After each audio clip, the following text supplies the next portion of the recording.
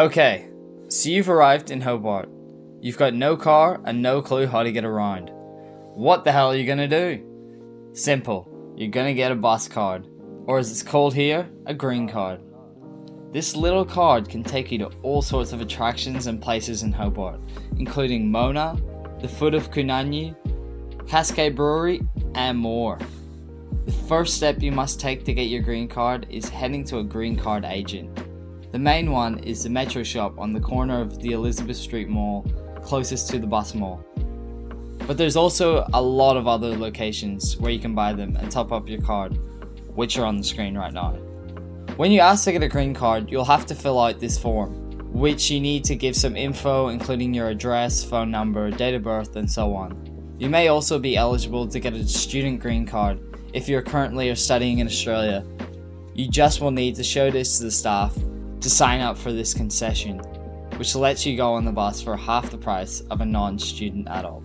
Once you fill this out, you will need to buy the green card, which costs $5, and you'll also need to top it up with some money. The amount you put onto the card will vary depending on how long your stay in Hobart is, and if you have a student concession. So try to calculate how much you will need depending on your specific situation. Important to note that the daily cap on weekdays is $9.60 for adults and $4.80 on weekends and public holidays. So definitely don't put more than the amount of your days times the daily cap. Okay, so now you've got your green card. It's time to use it. This part is really simple. Go to Google Maps and type in the place you want to go.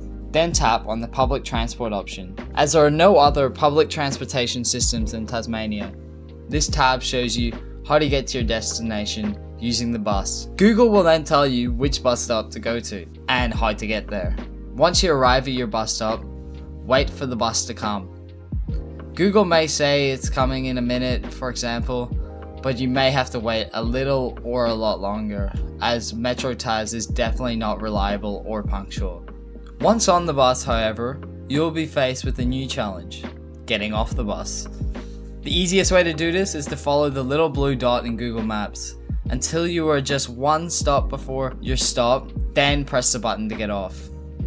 And boom, there you have it. You have acquired and used your green card. If you have any questions about public transportation in Hobart, ask me in the comments below. And don't forget to subscribe for more videos.